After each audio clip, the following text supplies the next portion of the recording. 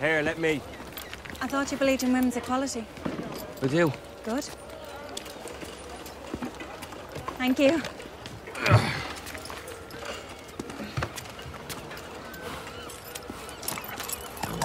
Not bad for the girl. Quite show me up. You're doing all right for a fella. I met the Countess. Oh, yeah? Madame herself? She said we're taking Stephen's Green. It must be soon. This Sunday's mobilisation, I guess. Volunteers have been called out in route marches, too. Perhaps it would be for the best if it was this Sunday. Now you're an impatient revolutionary. Stephen's home on leave.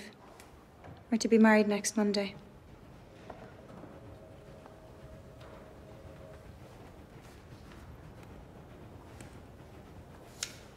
Congratulations.